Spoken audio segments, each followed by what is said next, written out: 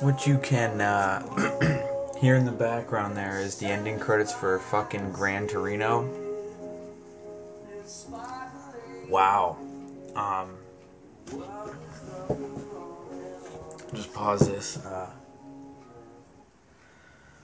I've been hearing uh, for a while. I bought Gran Torino on Blu-ray a few days ago, and I've been hearing from a lot of people that it was a must-see movie and it was great and it was awesome. And I've been putting it off, and finally tonight I decided to watch it, and wow. Um, I was gonna write a blog about it, but uh, honestly, it was just like fuck. I can't. There's too much to write.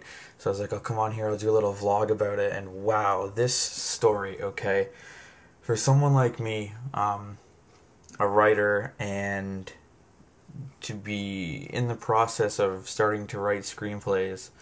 Um, when you get a story like this, I mean, I've seen a ton of movies and when you get a when you get a screenplay like this, man, this the character development, it's the epitome of character development. At this, I, I don't want to give too much away in case there's people that haven't seen it. But Clint Eastwood is a fucking genius. I know he didn't do the writing, but his acting is is amazing.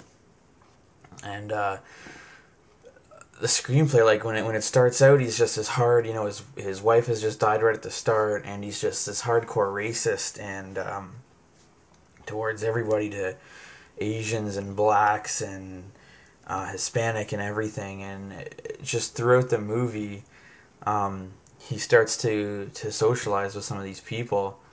And uh, just the way that his character develops, it's like, man, this writing, there's not every. With movies, every scene, you don't want one scene in a movie that's not there for a specific purpose. And every single scene in this movie moved his character further ahead. It changed him, and it made him. It made the ending happen, and every single scene was there for a specific reason.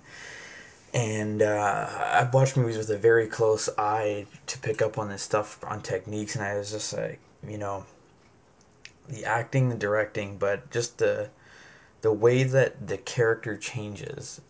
Um, I mean, you always like his character, but at the end, his character makes you like characters that you might not have liked, or it gives you an appreciation for characters that you may not have liked. And as you can see, my eyes are a little red here. I haven't uh, I haven't teared up at the end of a movie in a while. It's been a while. I'm trying to think of the last one that did it, and uh, geez, I, off the top of my head, I don't know. But this one, oh wow. Um, the writer, his name is Nick Shank. I'm hoping I'm saying it right. And uh, he hasn't he hasn't written much other stuff. He wrote a, wrote a TV series. Um, his first real screenplay and story was this, and uh, Clint Eastwood as the director and as the actor, as the main guy who uh, really carries the story. I mean, this is a lot of um, of Eastwood. And anyway, I just wanted to give you guys my, my quick thoughts on that, and I just didn't want to write it because, uh, as you can tell, words I can't even barely speak about it.